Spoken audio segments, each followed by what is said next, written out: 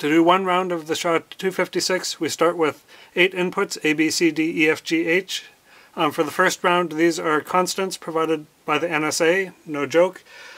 Um, so our first step is going to be convert these to binary, which is straightforward but a little tedious. So we'll start with ABC. 6 is 0, 1, 1, 0, 1, 0, 1, 0, 0, 0, 0, 0, 1, 0, 0, 1, E, 1, 1, 1, 0, 6, 0, 1, 1, 0, 6, 0, 1. Now for the first operation, we're going to compute the majority function on A, B, and C. What that means is simply we look at each of the three bits and see are there more zeros or ones. 0, 1, 0, there's more zeros. 1, 0, 0, more zeros. 1, 1, 1, ones win. 0, 1, 1, ones win. 1, 1, oh, 0, 1. And what this does is it mixes up A, B, and C in a nonlinear way, which makes it harder to break the hash function. Now we'll convert this back to decimal. 0011 is 3, 7, 8. Okay. Now our next step is we're going to take A and we're going to shift all the bits two positions to the right. So we're going to start here, 0110, 1010, 0000, 10. We shift A right 13 bits. We shift the whole thing 22 positions to the right. Now our next step is to sum these three shifted values. Um, we're doing it modulo 2, or we're XORing the three bits together, or as it's easiest to think of, we are simply looking to see if it's odd or even. If there's an odd number of ones, we put a 1. If there's an even number of ones, we put a 0. If there's a 1 that's odd, odd, even, even,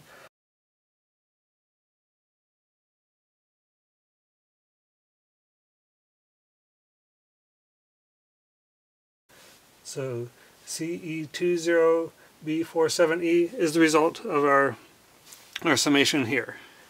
Now we're going to move down and look at EFG. We're going to convert these to binary 5, 0, 0.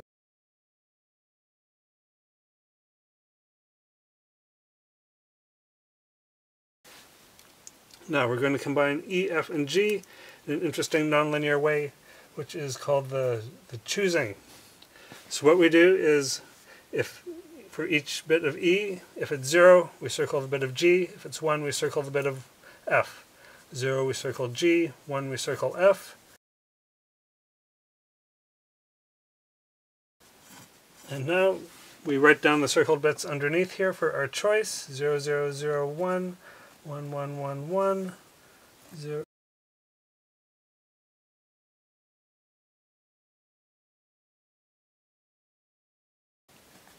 Next we're going to shift E by 6, similar to how we did with A. So we're going to start 4, 5, 6 right here. 5,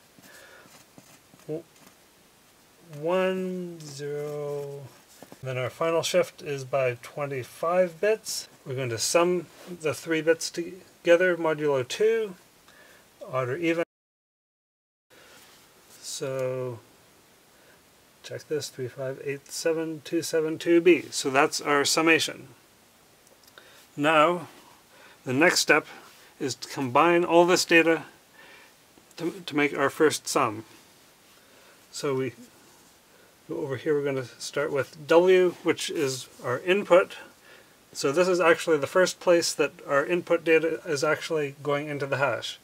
02000000. This actually indicates our data block is version 2. Now we take another constant provided by the NSA, 428A, 2F98, and we take our value H, which is just the same value we started with, unchanged, 5BE0, CD19, we take our choice value we computed earlier up here, which was 1F85C98C. And we take our summation uh, of E, which was 3587272B. And now we add these these values up in hexadecimal. It's just plain arithmetic except base 16, which makes it a little tricky. 8 9 is 17, and 12 is 29, and 11 is 40. So that's 32 plus 8, so 16 plus, carry the 2, 16 plus 16, and 8. 2 9 is 11, 12 and 8 is 20, 22. That's 16 plus 6, so we carry the 16. 1 15 is 16 plus 5 is 11, 12 and 3 is 15. So our result is F577ED68 is our first sum. Next, we go up to our compute our new A value. We add three things here. We start with the sum we computed earlier, which was CE20B47E and we take the majority value we calculated from A, B, and C. That's 3A6F, E667, and finally we take our previous sum, which is F577, ED68, and we just add these up in hexadecimal.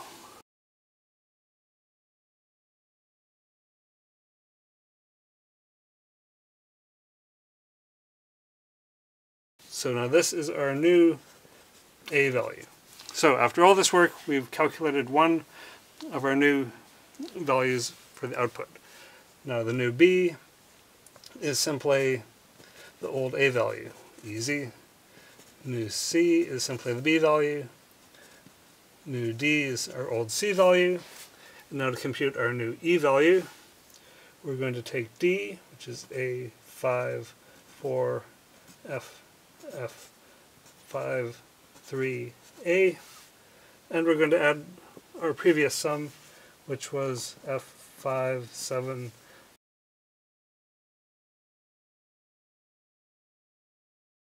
That's our new E value. And our new F value is our old E. Our new G comes from here, and new our old G becomes our new H. So we have now completed one round of the SHA-256 hashing.